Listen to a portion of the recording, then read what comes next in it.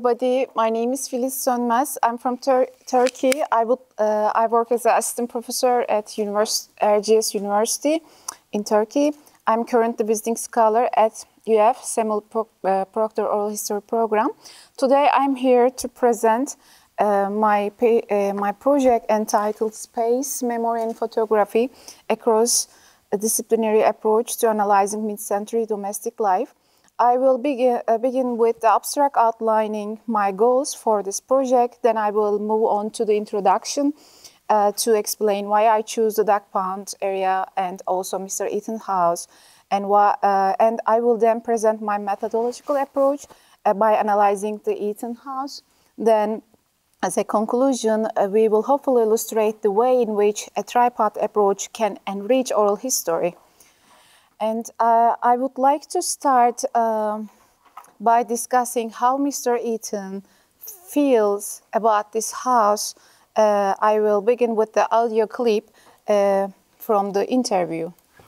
But see, the, the problem is when, when we were growing up, I, we never thought of this like we're thinking of it now. it was just where we lived.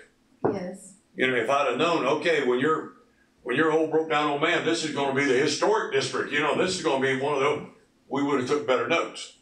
But this is where I lived. No, no. It's just a house. Uh, now you are so important person because you have a, a second uh, old house in this area. And they originally incorporated. exactly. Yeah. Yeah. And I'm the only one that the name on the house is my name. And in this project, the goal is to demonstrate how a methodological approach using a case study of a family's personal photo albums, their memories, and their house can cross three different disciplines photography, oral history, and domestic space, which I have termed a tripart approach in this study to provide a unique, more intimate narrative of the domestic space of, of historically invisible individuals in the 50s and 60s. And uh, I, I will I start to my project with the following questions.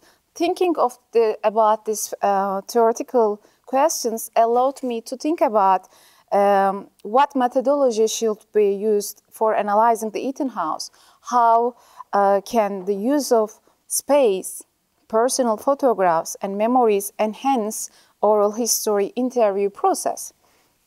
These are some questions why I chose the Duck Pond neighborhood. Um, this map shows us the larger his North Historic uh, District of Gainesville, where Duck Pond neighborhood, like, uh, sorry, the, this is the Duck Pond neighborhood. And um, I have become very interested in studying Duck Pond historic houses and families living the Duck Pond neighborhood. These houses has been an important of Gainesville, uh, Gainesville for several decades and have become historic preservation areas. Therefore, I would like to uncover these aspects of Duck Pond community. Uh, this map uh, also shows a specific location of the house. Uh, here is the Mr. Eaton's house I circled and um, to this days, we know little about the community that lives there and their domestic lifestyle. Uh, Mr. Eaton and his family have resided in their home for the last three generations there and therefore are able to attest to changes in the, in the use of their living space over a, con a considerable amount of time. This brochure um, from the historic Gainesville organizations and I think uh, in this area, 290 uh, historic houses uh, in this district, which depicts traditional Florida architecture from the late 19th centuries. Uh, okay, why I choose this house? Um, because the Mr. Eaton house um, is the second oldest home in the, this, this, uh, this neighborhood. And Mr. Eaton's grandfather brought the house from the original builder and an owner of the home. And Mr. Eaton's father and Mr. Eaton grew up in this house. Mr. Eaton still lives in, the, in this house today, and it, uh, it's really difficult to find an original family which still has owned a house since 1950s. The function of the many historical homes uh, has changed from uh, simple uh, residence into business or rental properties. But however, um, this house is still used as a home. Mr. Eaton has also been uh, able to witness the changes in the use of this architectural space over a significant period of time. And uh, this is the neighborhood again. This is the yellow part, Mr. Eaton's house. And this image shows the blue part is original plans of the house, the red ones showing the later additions to the house. Okay. Um, uh, coming as an architectural historian, I researched space. I wanted to find a different method to get a more profound understanding of this uh, domestic space in the Eaton house. Initially, I was only intending to incorporate the use of photographs to enhance the oral history interview process to get better understanding of the space. But once the Mr. Eaton took me by the hand to tour his home, and I came re to realize uh, how the space itself could be used as a tool to tell a more vivid story of the house, uh, of the use of the space. The following section contains example of how each discipline can be used enhance the other, and in so doing, our understanding of life in the Eaton house. I called my approach a tripod because tri a tripod having three feet like and uh, is more stable on two feet and four four footed structure. Three feet are three elements: memory in this place, space, memory, space, and photography. The key question guiding the analysis may be how do we analyze all three disciplines? How can we incorporate all three, three tools? Combining three elements of oral history, personal photography, space, can allow us to find a more vivid and personal represent representation of domestic life in a specific time, in a specific historic area. We will first explore how three disciplines applied in pairs are more, are more useful together than alone in analyzing Mr. Eaton's childhood. Later, we will provide an example of how all three disciplines combined can, can give, a, give us an even, even deeper understanding of what change, what changes happen, where, when, by whom, and why. Okay, this is the Venn diagram. By analyzing Mr. Eaton interview, we can capture his perspective of the what it means for Mr. Eaton to live in the 50s and 60s. The interview focused on three critical elements his personal photos, his memories he attached to these photos, and the interior living space of his house that exists in, in, at the domestic space of the time. Through his interview, we see dynamic relationship between three elements. They are interconnected through the dialogue. This relation is the best understood through a simple three-Venn diagram of the three elements. Each element can act on its own or act in conjunction with the others. Ultimately, we, uh, with the all three together, we get not only understanding of Mr. Eaton's life, but also of the life in the Duck Pond historic neighborhood. Before we illustrate the tripod approach, I would like to explain the relationship between the binary pairs. When any of two, you, you see any of two elements are paired together, more information is present but limited. Adding the three element gives the complete picture. And before adding the third element, however, we must understand the binaries through the, some examples. Only after we understand how the, the binaries coexist will uh, we understand the tripod approach. Within each pair, there is a directional flow. Uh, the first element listed leads into the second element listed by either explaining it or giving rise, rise to it. Combining any of any two of the elements together enriches our understanding. Today's presentation focuses primarily on the binaries approach. I will give more examples from here as the, by, uh, as the basis for the tripod approach. Because of the limited time, I will give you only one concrete example of the tripod approach at the end, which hopefully illustrate the effectiveness of using this combined multidisciplinary method. This is this is a work in process. I will give more examples in detail in my article. Today I will just going to illustrate the methodology focus uh, focuses a larger amount of time on the binaries and then I'm going to focus on the tripod approach with one solid example.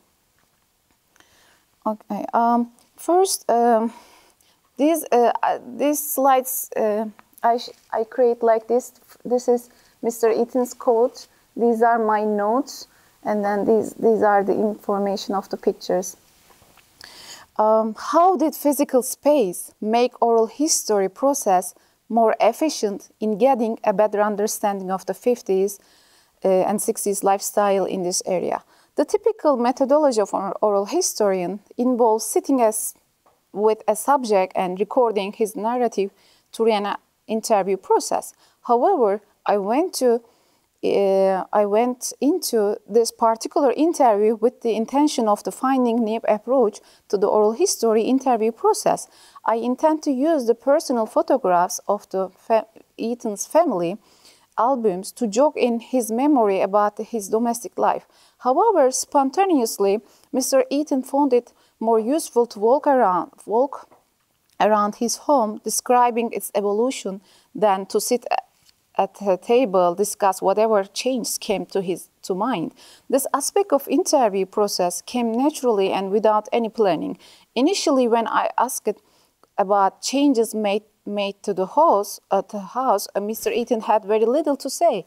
However, at, at one point, he stood up from the, where we are sitting and took me a tour to the, through the house. At which point, he showed me a recreation room. This is the recreation room uh, in his home, which once uh, a front porch. His parents converted into it into a room complete with the window, windows and uh, shutters called jalousies, which were reminiscent 50s. Had our interview occurred in a library or any other separate location, he may never have mentioned this area of the house. This is a concrete example of space giving rise to a memory, hence the directional flow from the space to memory. So during uh, this interview, Mr. Eaton used architectural space as a tool to spark memories uh, about specific incidents in his domestic life. We can listen. See, these are outside windows. Yes. And so the porch was added. I'm, I'm guessing that that was an outside window too, because you can see where they had the, the shutters were Yeah. right here. Exactly. And so what they did, they, and that was probably an outside window too, and they just, uh, turned it into a door. Mm-hmm. And mm-hmm. so this was in eighteen eighty-four, this was the mm-hmm. outside of the house. Yeah. And so then they came along and changed things and changed things. And my mother, mm-hmm. uh, probably in the fifties, this was probably just screening up mm-hmm. until then. And maybe even before that, it was probably just open. Mm-hmm. And then probably somebody put in a screen. And then my mother changed this and turned it into windows. Because these are called jalousies and they're out of the 1950s. You can date something by this. And um, how did oral history make the study of Mr. Ha- uh, sorry, Eaton's house more productive? Architecture is not only focused on blueprints, dimensions, on construction. We also uh, concerned with the use of space. The only way to truly understand the way space is used is through first-hand accounts. It was only after touring the home with the Mr. Eaton that we got a better understanding of domestic life in this house during the 50s and 60s. Had we only had the house to study, we may never have learned what certain areas of the house were used for. The image here uh, shows Mr. Eaton's office. Uh, it's filled with the antiques, memorabilia, you know. However, this space was once Mr. Eaton's sister bedroom. There, there are no picture of this space back in the 50s. There, there is nothing in the room today is to suggest it was a once a girl's bedroom. But Mr. Eaton account is only source available to attest the changes made to this space. It is his memory gives rise to understanding the space. For this reason, on this slide, you will notice the order of the elements is reversed from the previous slide, the flow here from memory to space. Now, this was my sister's bedroom, which I've turned into workshop areas. well, yeah, they, we, she calls it my office. It's not really, but this is my this is my a lot of this is my life. And and we we are seeing this slide, uh, Mr. Eaton giving us a tour of the house. He's describing the space. We we we didn't sit on the uh, table. And then we got the tour house, and he gives more information, more details about the 50s domestic lifestyle. And then he showed me albums, his pictures, photo albums. He's showing the space. He's showing the materials coming from the past. Okay, how did personal photographs make the oral history process more productive? A photograph um, is a representation of subjects of specific place and time. This photograph would allow the interviewee to focus his narrative on the details that the photograph represents for the interview. interviewee. Using photographs during the interview process allows for a more specific example of daily life and a more intimate account of specific attitudes to certain people, places, events in their life. Upon being asked about the activities he would engage in for entertainment as a child, he had very little to say only that he would occasionally go out fishing and hunting with his father. He didn't go any more in into detail about his statement until I inquired about this specific photograph. He noted uh, that this area once had a pond which uh, held cat- catfish where he went fishing.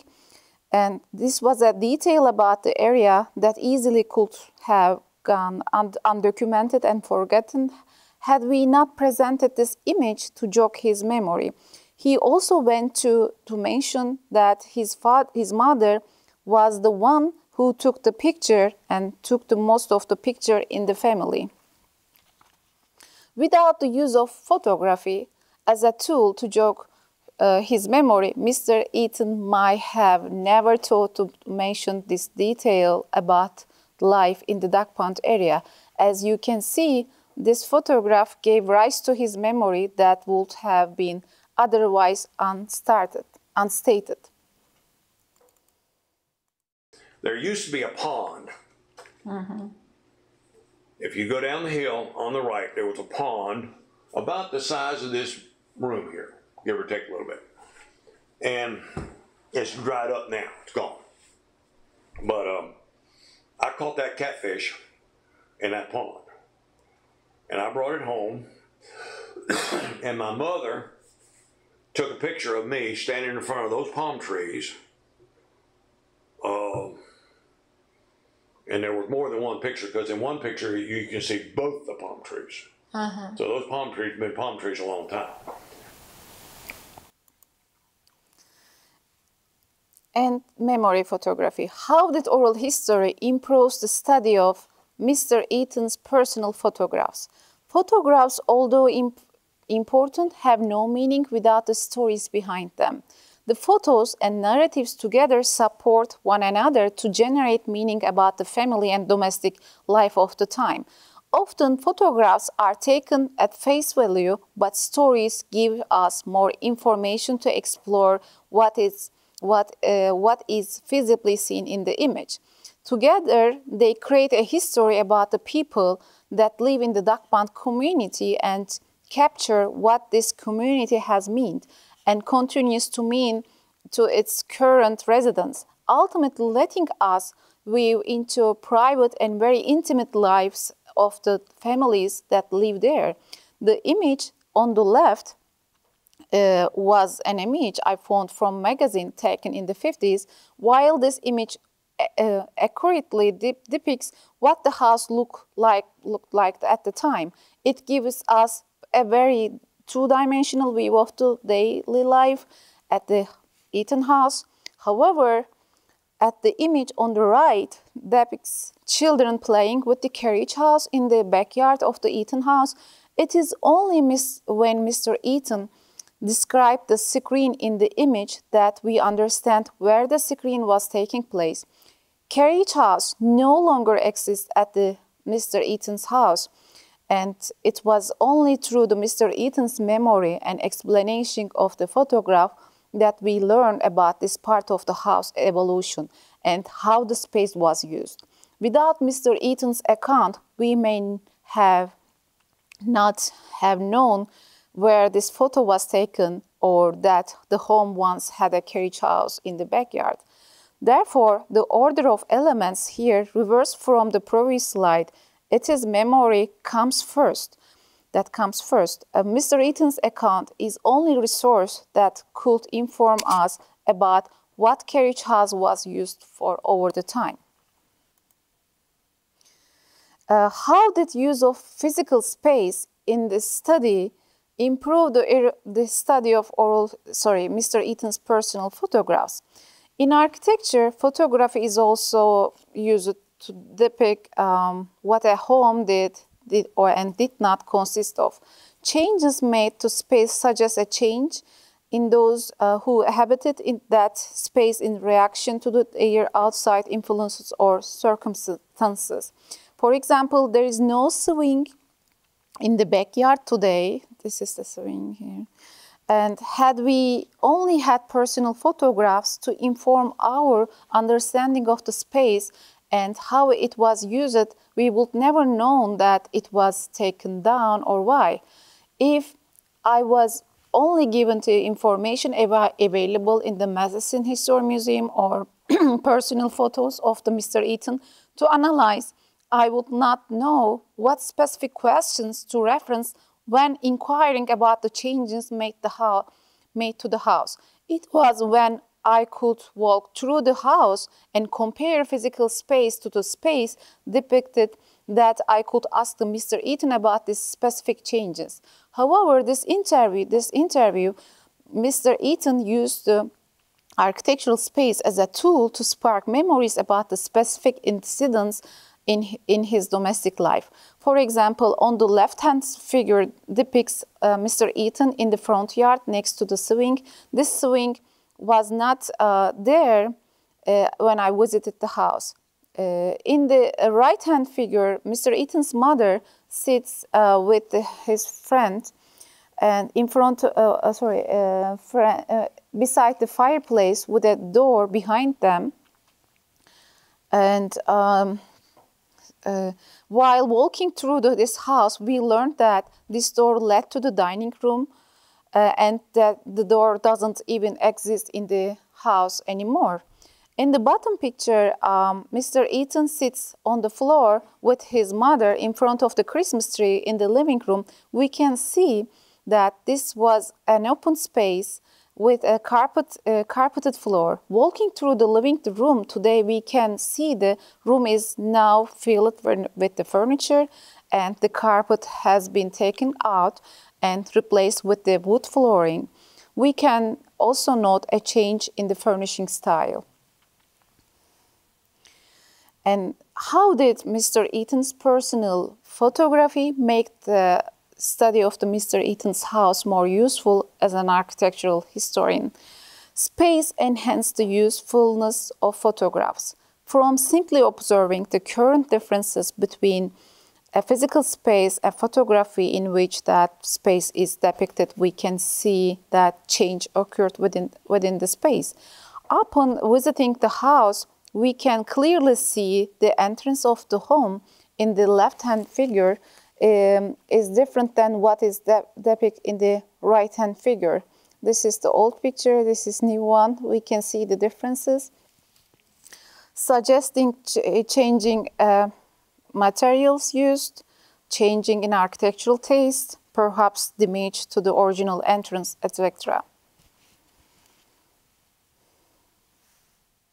Okay, the combining three elements, space, we combine before we see the binaries. Now we we will see combining three elements, space, memory, and photography.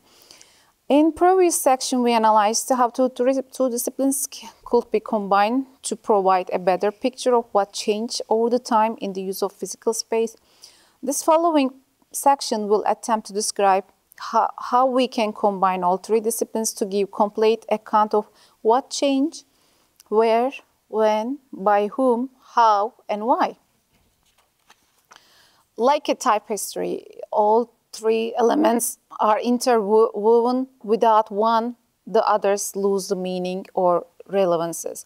Each element enhances the other in its own unique way. We can observe by being, by being in actual physical location in question that there is a fence you see in nowadays. I was thinking th- this fence uh, uh, it was here in the past but no.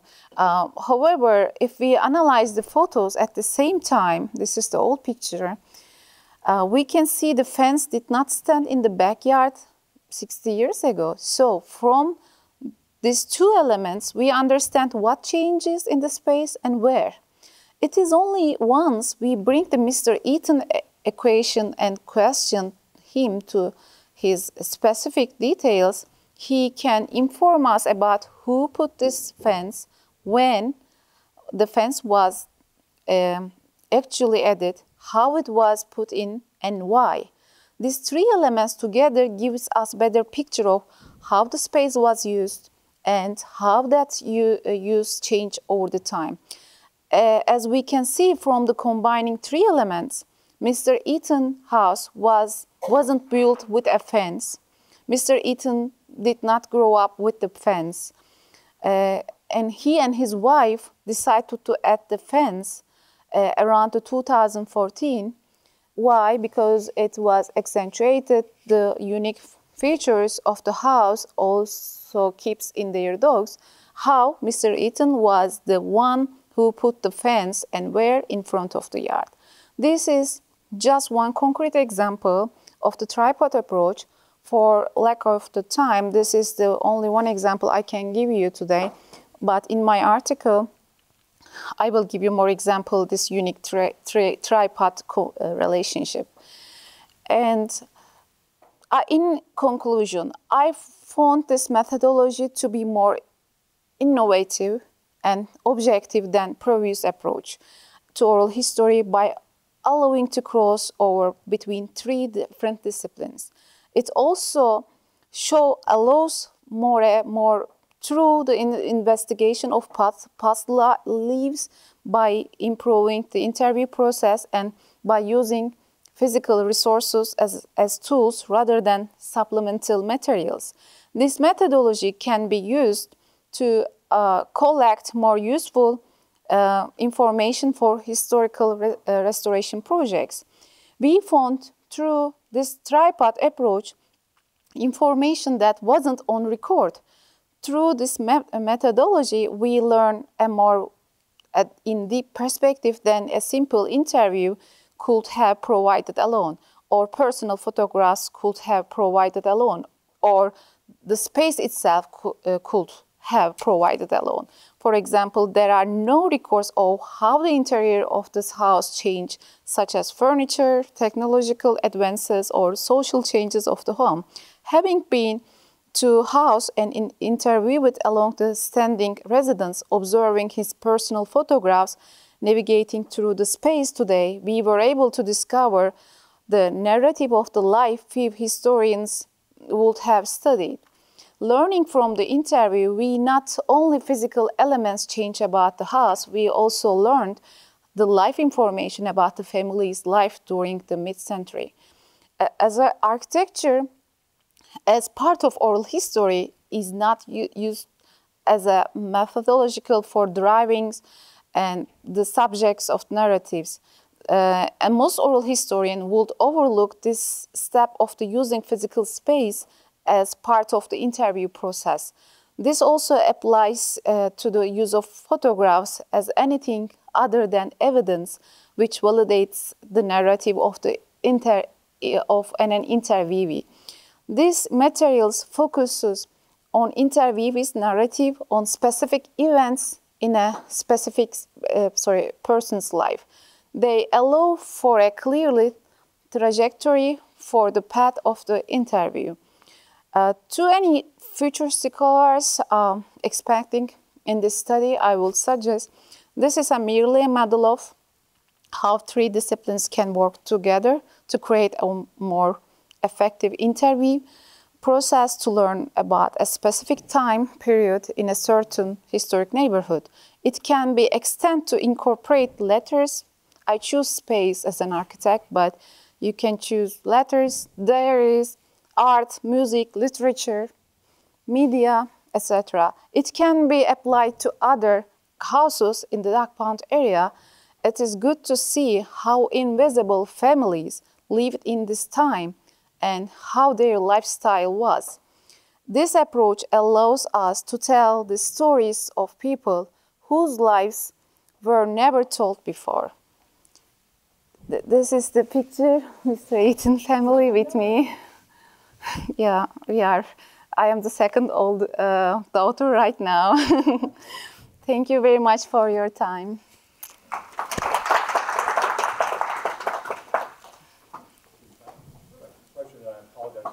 Yeah, sure. Um, well, a couple of questions. One is, and, and an observation.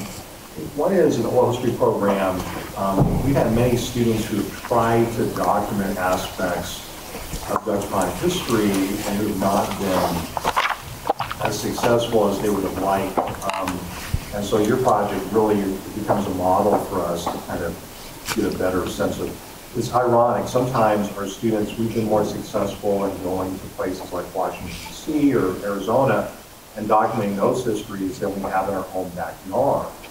Now, so I have two questions for you. One is, I mean, first of all, how did you meet Mr. Eaton?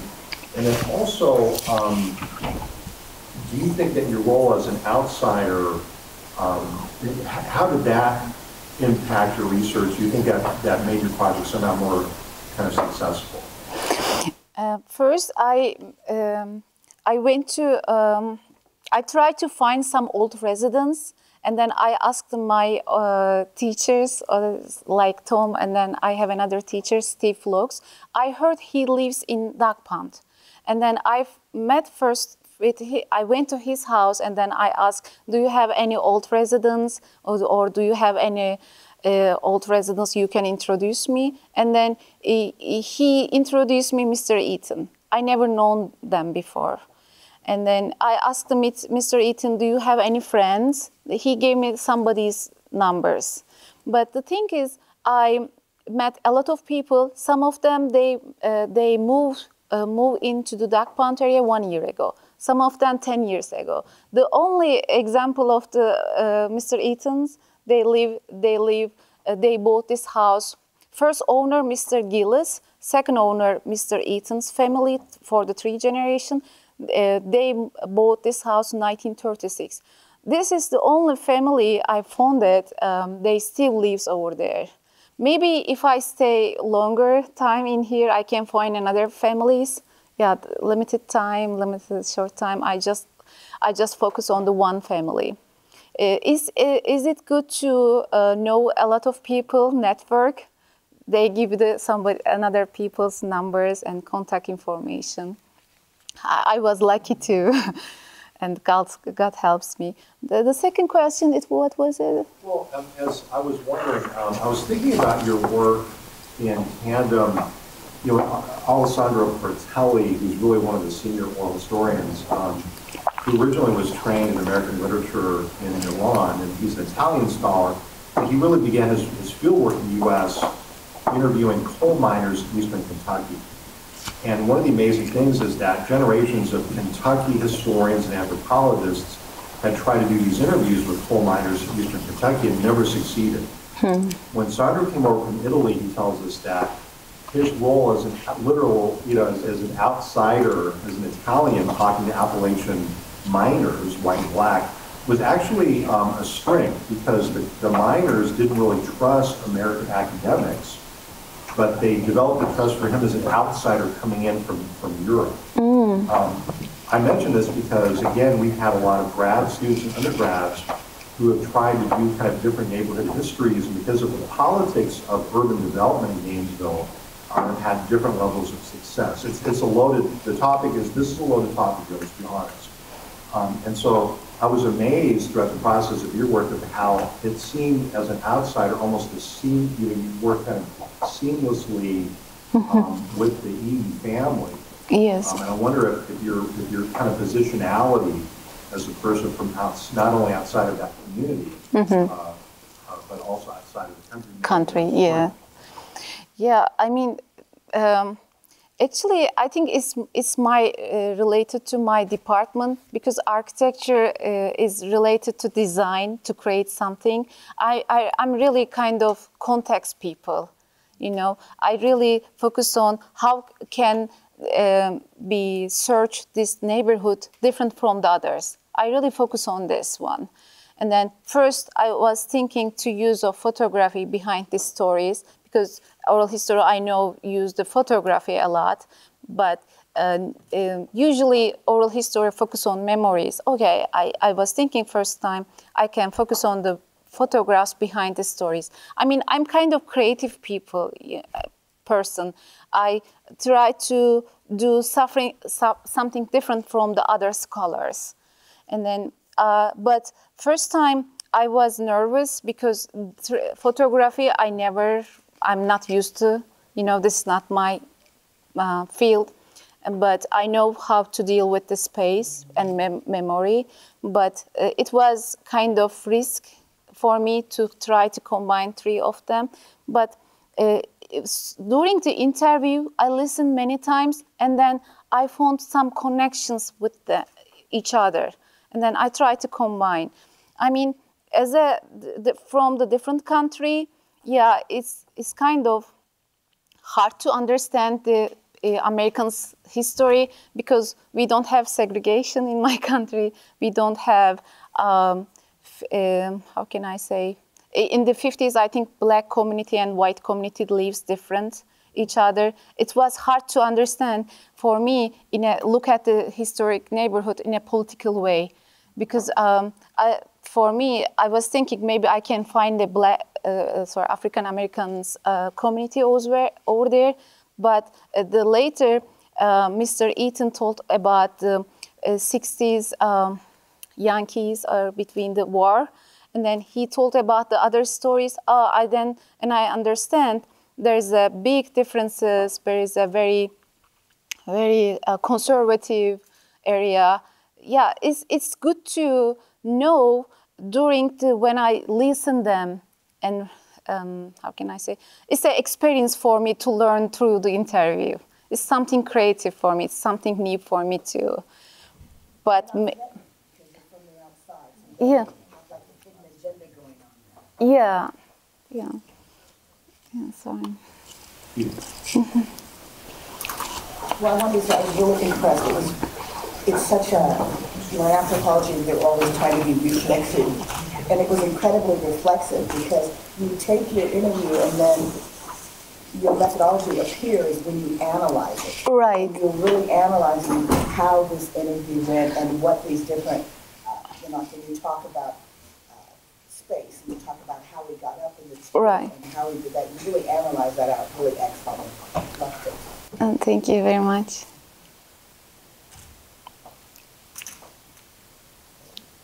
So I have a question. I know you did also uh, talk to some other families. Right. In the neighborhood as well. Is there a way to try to apply the tripod approach even if you don't have all of the direct memories? I know one family who um, had researched the house because they took an interest in its history. Is there any way to create a different kind of tripod with that? Uh, as you see, I usually focus on the binaries. If we maybe we can use, I can show you the here. Maybe Venn diagram helps us. Yeah, this one. And maybe okay. I in also interviewed two different families uh, in this neighborhood, but limited time, limited information. Some families give me uh, uh, limited photography, but they have space, old houses, but they have memory. And then we can use this just these parts in our research. For example, um, uh, we uh, okay the the whole thing's tripod approach, but this binaries also we can use the, for the other houses not necessarily only the, the three of them. You can use, for example, that family. If I found a family, they have a literature background. I, I can use instead of uh, space to literature. You know, the third feet always can be changed, can change. Yeah, I mean, is it possible to wor- uh, uh, we can use the other houses to, uh, by using this approach? It's interesting because that's what we do in Lincolnville, but we, we didn't have enough time. So that's the way I. Phil, if I just have a comment, but it may be totally unrelated to to what you're doing here. But uh, I, I work with the Matheson History Museum, and and we have um, people here in Gainesville who make a living out of putting properties on the National Register. And I don't, I don't know if you've, you know, uh, come in contact with that here in the United States or not, but, but you can have an official legal designation of a property of of historic value. And to be able to do that, you you put together a document that's maybe half an inch thick or something, that is not a tripod. It, it's a sort of an architectural study. Um, you know, it, it just looks at the, the architecture, it has pictures of the, maybe the outside, and maybe it talks about the style of architecture, maybe Queen Anne, you know, or, or Victorian, or whatever it is, which, which is not a tripod. And, and I'm just wondering if, I don't know if you're gonna be working in the future on, on this project, or this. I would love to come again. It seems to me that some of the, um, the approaches you use would enhance, um, the whole process of putting properties on the National Register, although it's not required. I mean, you, you have federal standards or, or expectations of what a, a submission is gonna be, but, um, I'm wondering if that could just really enrich the, the whole process of documenting all these things. yeah, I mean, it works. So if you're going to be working on this in the future, you might want to scratch your head and think about how it could um, pertain to, um, to the National Register submission. I would love to. It's possible, yes.